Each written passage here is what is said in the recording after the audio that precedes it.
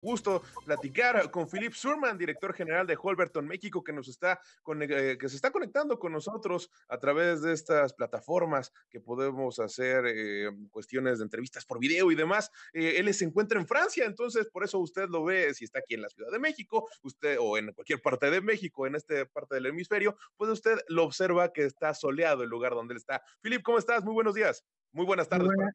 muy buenos días, Juan Carlos. Buenos días a todos tus auditores. Oye, Filip, pues mira, eh, justo creo que es importante eh, sentar las bases para que el auditorio que no conozca qué es Holberton eh, entienda por qué es la relevancia de que ustedes están llegando a nuestro país y por qué está, es importante el lanzamiento de una escuela como la que ustedes manejan.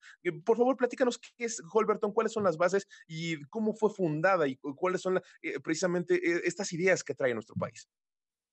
Bueno, muchas gracias Juan Carlos por, la pregunta. Efectivamente, Holberton School es una, em, es una escuela de programación, es la escuela líder de programación de la Silicon Valley. efectivamente, nosotros eh, hemos decidido de traer justamente esta escuela en México. Ya hicimos el lanzamiento oficial el 7 de julio aquí en México, justamente para ofrecer a los mexicanos de adquirir todas las habilidades de programación, las habilidades para volverse desarrollador de software. Em, para nosotros es muy importante esta llegada de esta escuela porque al final de cuentas sabemos que México tiene una falta de talento digital bastante importante. Hoy en día casi 200 mil posiciones en México no encuentran el talento de programación y nosotros estamos aquí para sumar a la, a este esfuerzo para ayudar justamente a que los mexicanos que están buscando una carrera o los que han perdido tal vez su trabajo por la situación del coronavirus que deciden reconvertirse tengan una oportunidad de reconvertirse en eh, una carrera de software engineer. La verdad es que esta carrera es interesante porque en lugar de durar tres o cuatro años como cualquier licenciatura, dura nada más un año, es un año muy intensa, entonces realmente por la urgencia es un modo interesante porque no tienes que invertir tres años o cuatro años, en un año te puedes volver software engineer o desarrollador de software. Por otro lado, es un modo totalmente disruptivo de educación porque al final de cuentas no hay profesores, es decir, que los estudiantes estudian entre ellos estudian sobre un formato de project-based, es decir, que no hay eh, conferencias magistrales de los profesores. Hay, por, supuesto, un acompañamiento ligero de algunos profesores, pero realmente el trabajo se hace entre los estudiantes, entre los estudiantes, entre ellos mismos, en su plataforma en línea, porque todo el curso debido al coronavirus decidimos de lanzar 100% online eh, eh, y, por otro lado, como le comentaba, está manejado eh, un trabajo en equipo, sobre trabajo en proyecto, es decir, que la gente aprende haciendo proyectos, es decir, que saliendo de este año, el software engineer o el desarrollo de software que sale de Holberton School es totalmente operacional para justamente subirse y trabajar en una de las empresas aquí en México, una startup o algunos de los grandes corporativos que ahorita están buscando mucho esos eh, perfiles. Oye, Filip, yo creo que es importante también, ¿cómo nos puedes explicar esto? Porque ustedes son una escuela disruptiva, lo que estás platicando acerca de la manera en que son sus planes de estudio, la manera en que aprenden los, eh, los estudiantes. ¿Cómo es que han desarrollado todo esto? ¿Cuántos años tienen en activo? Ustedes son una empresa que viene del Silicon Valley y precisamente traen toda esta evolución en cuestiones del pensamiento, insisto, nacieron en el Silicon Valley, entonces eso ya de por sí nos, nos habla de, que son una escuela disruptiva. ¿Cómo es que eh, han evolucionado sus planes de estudio? ¿Cómo es que lo han, y cómo es que lo han adaptado a las distintas naciones de donde están? Porque no solamente es que estén en Estados Unidos, no están solamente en México, sino están en otras partes. Y precisamente, ¿cuál ha sido esta adaptación para nuestro país? Bueno, básicamente, como lo comentaba, esta escuela se, produce, se creó allá por dos software engineers que trabajaban en dos grandes empresas eh, de Estados Unidos en 2016. Realmente no somos una escuela que tiene muchos años, tenemos un poquito más de 1.400 egresados a la fecha de hoy. Y como lo comentabas, ya estamos haciendo una extensión geográfica muy rápida y muy intensa. Ya se abrió Uruguay, ya se abrió Colombia hace un año, hoy abrimos México, estamos creciendo en Estados Unidos y vamos por para, para la zona de Europa y de Asia, ¿no? Entonces, eso es el modelo de crecimiento. Eh, el modelo efectivamente eh, se creó a partir de la necesidad de justamente de la, de Silicon Valley de conseguir más rápidamente eh, personal, por eso que la hicimos en un año y también una de las características muy importantes de esta escuela es la accesibilidad. Los fundadores eh, que están ahí en la Silicon Valley no querían tener el tradicional eh, blanco con la barba que hace eh, desarrollo web. Queremos realmente democratizar el desarrollo web. Por eso que la parte de accesibilidad y de diversidad para Holberton School es muy importante.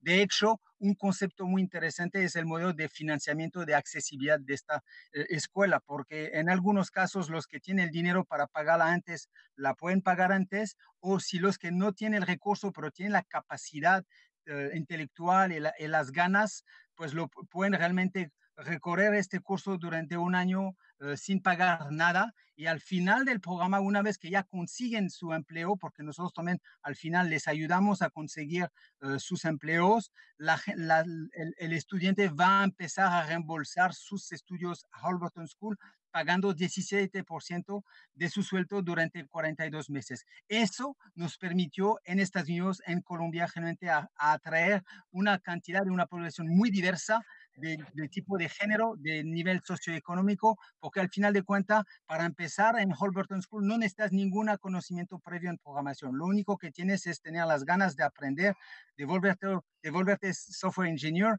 y empezar una nueva vida o empezar tu vida profesional en un tiempo bien reducido. Le, recuerdo a todos que un año único nosotros nos tomamos para capacitar a la gente y volverlo 100% operacional en cualquier de las startups, de las fintech o de las empresas corporativas de México.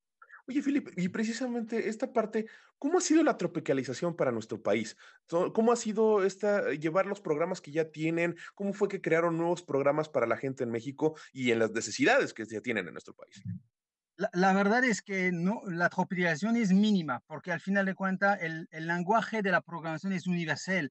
Eh, todo está en inglés, entonces realmente eh, nosotros mantuvimos eh, pues el curso en inglés, damos esos apoyos a la gente que no todavía dominan el inglés. Lo vimos en Colombia, funcionó de maravilla, estamos creciendo, creciendo a un nivel muy fuerte en Colombia. Y la verdad, considerando el tamaño de México, nosotros tenemos una gran expectativa sobre la posibilidad de capacitar y recapacitar pues la población mexicana que por algunos de ellos están empezando su vida profesional, otros que van a tener que reconvertirse por los temas del eh, coronavirus. Pero de la tropicalización es mínima. Nosotros realmente estamos dando el acceso a la plataforma y a la calidad pedagógica de esta plataforma a los mexicanos del mismo nivel que la gente que están estudiando en la Silicon Valley. Para darte nada más un tema, en Silicon Valley nuestros egresados entran en empresas como Tesla, Google, Facebook, realmente son desde los mejores eh, egresados. Así que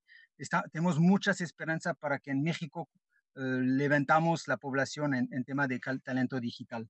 Y justo esto va alrededor, esta respuesta que me estás dando se liga con la pregunta que yo les hacía en la conferencia de prensa y que creo que eh, vale la pena que en este momento se vuelva a traer al aire, que es en México ya existen muchas, muchas escuelas que están dedicadas a la formación de ingenieros, que tienen programas acerca de ingenieros que se dediquen a la programación. Eh, se tiene, nada más por mencionar algunas, como el TEC, como el POLI, como que tienen, insisto, esta tradición en nuestro país. ¿Cuál es el papel que viene a jugar Holberton entre, dentro de todo este ecosistema para generar alumnos que se dediquen a la ingeniería en programación? Mira, de antemano yo creo que hay un lugar para todos. En final de cuentas, hoy en día, como te comenté en introducción, faltan más de 200 mil eh, software engineers en México. Apenas con la estructura instalada en México estamos produciendo entre 10 a 15 mil al año, es decir, que hay mucho más oportunidades de, de traer más capacidad de capacitación. En la única diferencia, efectivamente, nosotros no, no estamos, uh, nosotros lo enfocamos en, en el desarrollo de habilidades concretas y prácticas que permiten realmente a los uh, estudiantes ser operativos a la salida de la escuela. Sin comparar ninguna otra carrera, yo escuché muchos CTOs o CIOs de empresas mexicanas que me comentan que aún los jóvenes saliendo de sus licenciaturas les falta todavía a veces hasta seis meses o un año más de capacitación para ser operacional. Nuestro modelo como es project-based, es decir, que tú aprendes haciendo proyectos todos los días, tú aprendes haciendo programación, no hay hay muy poquito teoría, hace que realmente después del año donde tú ya te gradúas, te vuelves un activo totalmente operacional por la empresa. Es por eso que las empresas, por lo menos en Estados Unidos, en Canadá, en Uruguay o en Europa, les gusta tanto nuestro perfil porque es muy operacional. Oye, Philip, y ahora, con base en el estudio que ustedes hicieron en México para tomar la decisión de llegar, ¿realmente cuál es este? Tú dices que hacen falta 200 mil ingenieros. Eh, ¿cuáles son los requerimientos que tienen las empresas en nuestro país? Porque si uno piensa en, eh, eh, en el desarrollo de tecnología que existe en México, pues, y, a nivel mundial, ¿no? Uno se fija precisamente en el Silicon Valley, se fija en lo que sucede en Israel, pero y México no se le ve como una empresa que sea generadora de tecnología. ¿Dónde están estos puestos que han visto ustedes y que te han señalado las empresas que son necesarios? Mira, la verdad es que México primero tiene un ecosistema de startups muy interesante. La verdad, con el sector e-commerce hay muchas startups que ahorita necesitan esos perfiles. Otro punto muy importante, el ecosistema de la fintech. El ecosistema de fintech de México es uno de los más grandes de toda Latinoamérica. Y también las otras empresas más tradicionales, los corporativos mexicanos grandes o internacionales instalados aquí, que se están involucrando en una transformación digital, porque hoy lo sabemos que la, hay una aceleración muy fuerte. Había, un principio de transformación digital, pero ahorita con el COVID se está acelerando mucho más. Para lograr esta transformación digital, además de comprar tecnología, es importante tener in-house esos perfiles que permiten justamente de lograr la, la transformación digital y mantener la competitividad de las empresas mexicanas. Eso es por un lado, pero por otro lado hay que estar bien consciente que México tiene una posición geográfica cerca de Estados Unidos muy, muy interesante para también proveer servicios de tecnología a las empresas que están en Estados Unidos. Con el nuevo TEMEC, de hecho, nosotros esperamos también con diferentes estados de la República, secretarios de, estados de la República, poder impulsar la promoción de nuestros estados con Estados Unidos para ofrecer nuestras soluciones. Philip, muchísimas gracias por haber estado con nosotros. Se nos acaba el tiempo del programa. Philip Surman, director general de Holberton en México. Muchas gracias por haber